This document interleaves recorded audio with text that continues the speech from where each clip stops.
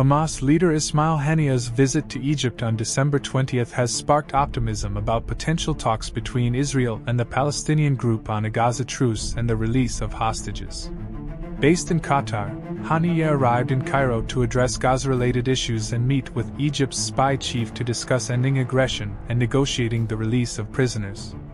Israeli Prime Minister Benjamin Netanyahu disclosed that Mossad chief David Barnea had been sent to Europe twice to work on freeing hostages held in Gaza. Qatar, backed by Egypt and the US, played a role in brokering a week long truce in November, resulting in the release of 80 Israeli hostages for 240 Palestinian prisoners.